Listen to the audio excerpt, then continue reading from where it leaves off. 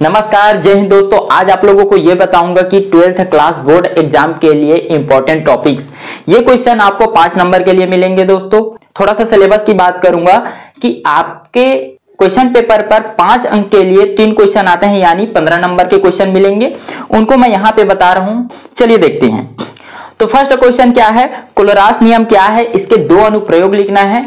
ठीक है? वही सेकंड क्वेश्चन इसी चैप्टर में आपको मिलेंगे। तुल्यांकी चालकता, मोलर चालकता क्या है? इनके परिभाषा को लिखना है, सूत्र और इकाई भी ज्ञात करनी है आपको।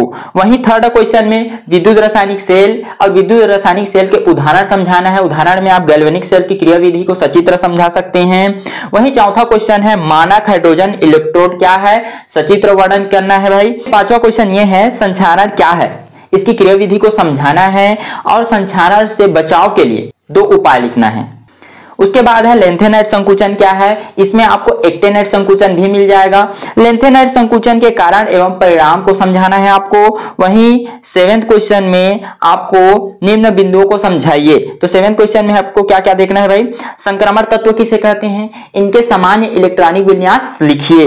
वहीं नेक्स्ट क्वेश्चन कॉपर प्लस और कॉपर टू प्लस का इलेक्ट्रॉनिक विन्यास करना है। और आपको यह बताना है कि सबसे अधिक अनुचुंबकी कौन है?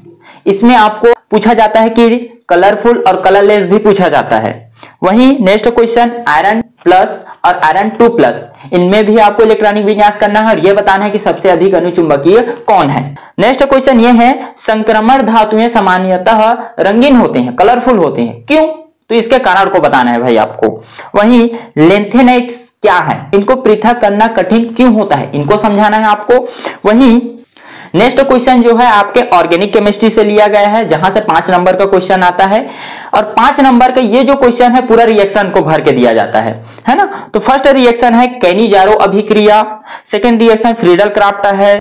नेक्स्ट फिर रोजर मूड अपचयन अभिक्रिया है स्टीफेन अभिक्रिया है बेंजोइन संघनन एल्डोन संघनन गाटरमेन कोच अभिक्रिया क्लीमेंसन अपचयन अभिक्रिया स्मिट अभिक्रिया और लास्ट है एसिटिलीकरण तो ये जो रिएक्शन है, इसको बिल्कुल डेली प्रैक्टिस कीजिएगा। बिना प्रैक्टिस के आप रिएक्शन को नहीं बना पाएँगे। मैं नेक्स्ट वीडियो चार नंबर और तीन नंबर के लिए लेके आऊँगा। यदि आपको और भी सब्जेक्ट के ऐसे इंपॉर्टेंट टॉपिक्स चाहिए तो बिल्कुल कमेंट करके बताइएगा। फिर मिलेंगे नेक्स्ट वीडियो में। नमस्कार, जय हिंद।